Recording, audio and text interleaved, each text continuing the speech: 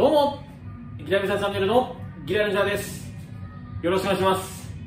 さあギラバンク北九州今日は今シーズン初のアウェーゲームで制限金沢と対戦いたしました。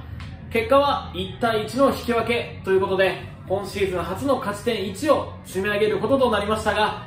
えー、正直言って負けに等しい引き分けだったんではないかなというふうに思います。えー、今日はですね前半から、えー、制限金沢にかなり攻め込まれるシーンがありましたが、えー、なんとか、えー、それをですね無失点でしのぎですね後半の22分に永田選手のヘディングかなりですねこう低い位置からこうどんどん押し込む。本当にあのそのシュートはですね気合の見えた、えー、一発だったなと。いうことで、なんとか先制点を挙げられたんですけれども、試合終了間際、後半の44分に、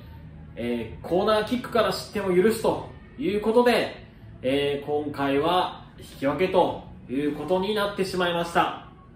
私、ギラレンジャーは、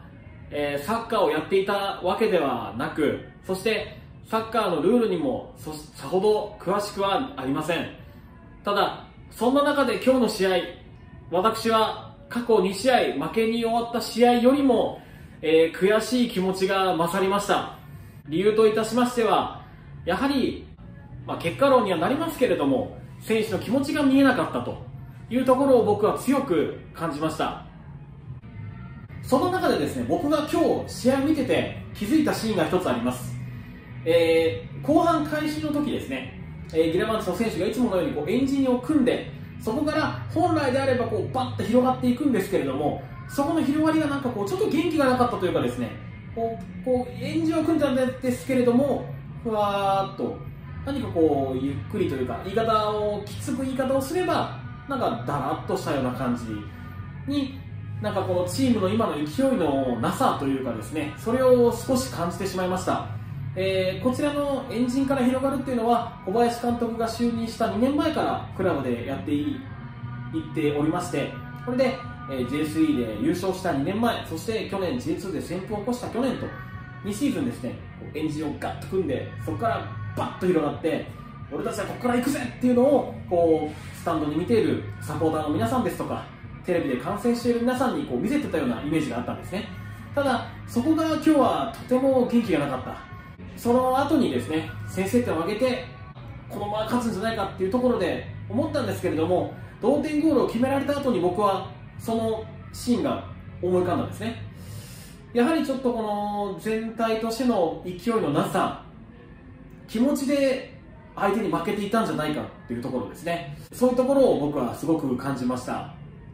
なのでまあ次節以降ですねまた2年前そして去年のようにこうエンジンからこう強くバッと花開く。僕はねまさにこうひまわりのようなディラマンスのイメージでもあります。ひまわりのようにこう大きくバッて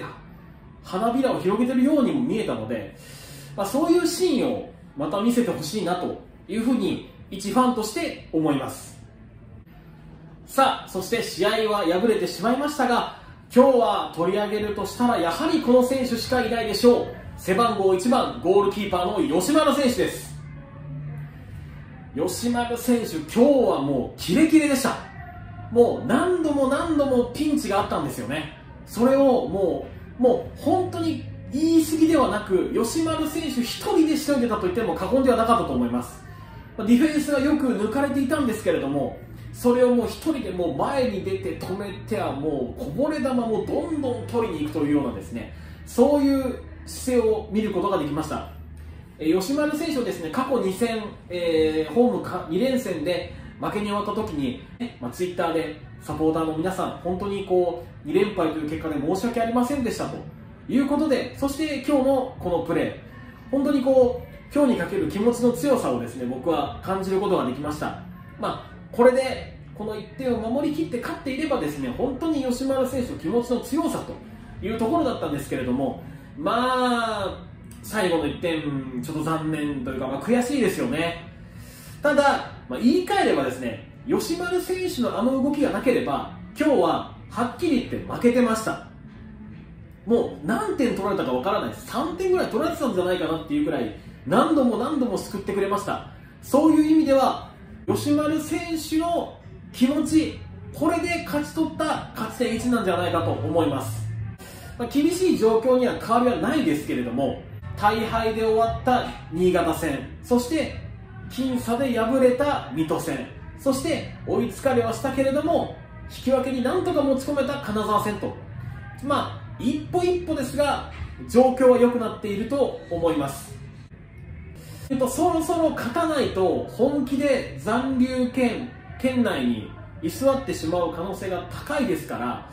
まあ、今日見せてくれた吉村選手の強い気持ちそしてそれをいかに周りの選手が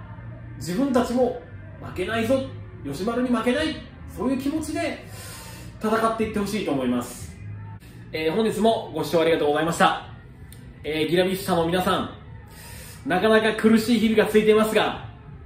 ここを踏ん張りどころだと思って耐えていきましょう。私たちが耐えた先には絶対にいい景色が見えているはずです。それを信じて応援し続けていきましょう。この動画を気に入っていただいた方チャンネル登録高評価コメントもろもろお待ちしております。皆さんのリアクションが私の全てです。ご視聴ありがとうございました。また次回お会いしましょう。それでは、キラビサチャンネルのキラレンジャーでした。